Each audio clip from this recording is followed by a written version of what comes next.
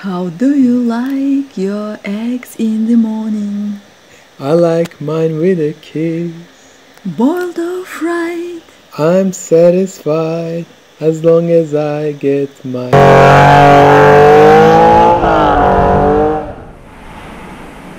Fried eggs. The buzzword that the haters and the keyboard warriors love to use to define and ultimately knock down the 996 series because of the inexcusable crime of sharing oddly shaped headlights with their lesser Boxster siblings. A 911 should have round ones. Which of course is perfectly fine for people like me who have to give up on a good part of their hard-earned bread and butter in exchange for, well, fried eggs.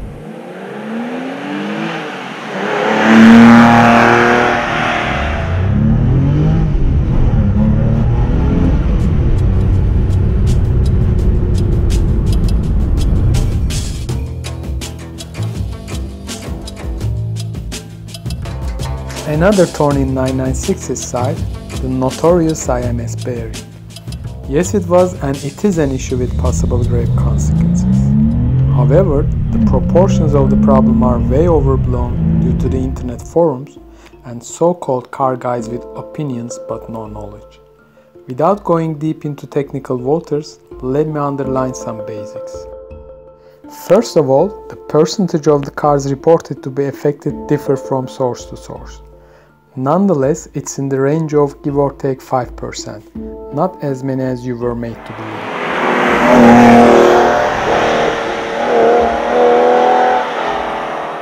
The problem is not specific to 996. By and large, mechanically identical 997, except for the second generation direct injection cars, also have IMS issues. As the 996 was the first water-cooled 911 that overheated the air-cooled loving community, the IMS issue eventually made it the punching bag. If you own a 996 or planning to get one, and you think something needs to be done about the IMS, gather proper knowledge about the aftermarket solutions being advertised, as well as the type of IMS your car has. If you choose to replace the bearing, be aware that what you're effectively doing is exchanging a lifetime part with a service item that needs to be replaced every 40,000 miles or so. And there's a range of aftermarket offers, from ceramic to cylindrical instead of the original ball bearings. Try to choose a tested and tried solution rather than getting advice from a kid with pimples who does have no 996 but a point to prove on the internet forum.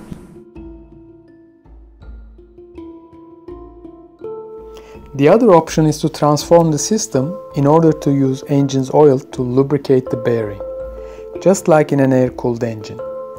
Keep in mind that this requires some drilling and cutting, something that you may not be willing to do.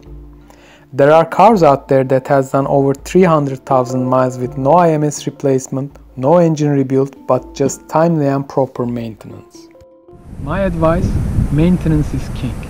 Change your oil frequently at no more than 5000 miles and drive the car and use the rev range that is available.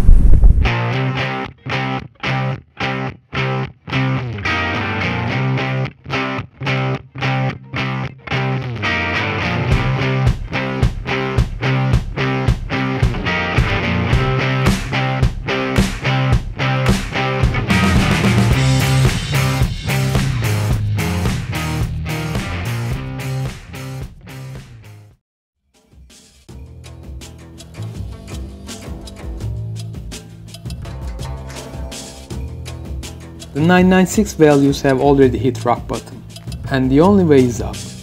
But they are still relatively cheap and present an incredible value for money if you want a real sports car. What I mean by a sports car is a car designed from scratch as a sports car, not a souped up version of a family saloon, initially designed to get grocery and has seats with easy to clean fabric in case your kids vomit on them.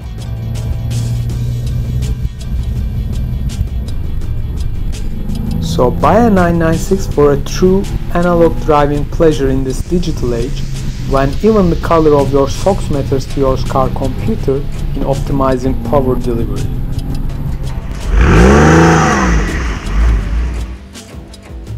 This particular 98 model car that I use as my daily driver doesn't have suspension mode, torque vectoring or any kind of electronic stability wizardry, but just a primitive traction control that I can turn off completely.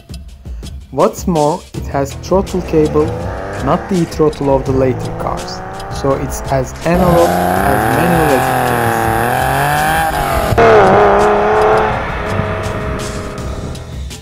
I'm not against the computer involvement in today's cars. Back in the day, 600 horsepower in a 911 GT1 was good enough to win Le Mans.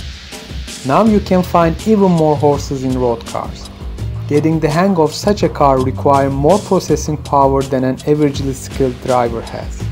So there's no question that the electronics play a vital role in keeping modern era's insanely powered cars on the road, but in the expense of driver involvement.